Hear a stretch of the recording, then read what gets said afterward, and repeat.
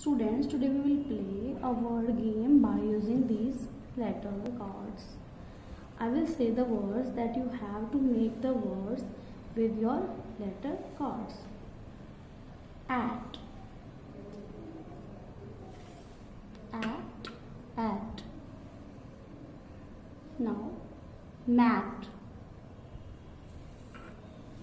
Hmm, at, mat.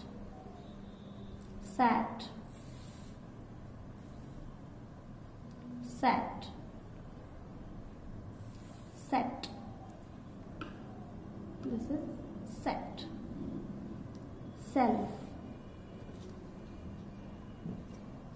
This is self. Small. This is small. Smell. This is smell stall this is stall stalls this is stalls these are the words that we have made by using letter cards. Let's read. At mat sat set self stand steam smell small stall stalls. By far this is the biggest word. Can you try to make even bigger word than this word?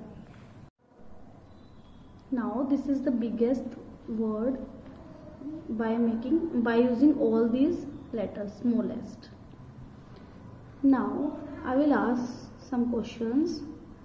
First how did you make mat from at, sat from mat and sell from set?